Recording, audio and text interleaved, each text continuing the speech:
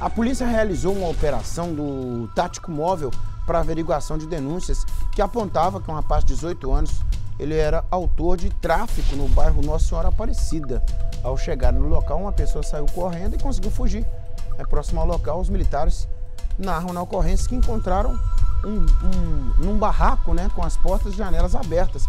Dentro foram encontrados, é tudo isso que aparece na mesa aí, ó, um revólver calibre 38, munições, uma porção e 177 pinos de cocaína, 30 pedras de crack, 4 pés de maconha, além de barras e tabletes da mesma droga. Ó, tinha até rádio comunicador também, né? Balança, chamada balança de precisão, e sacola de pinos vazias, né? É, vazios lá. É. Até o momento ninguém foi preso. A polícia recolheu esse tanto de coisa aí, né? É. Gente do céu. É, droga pra todo lado, né?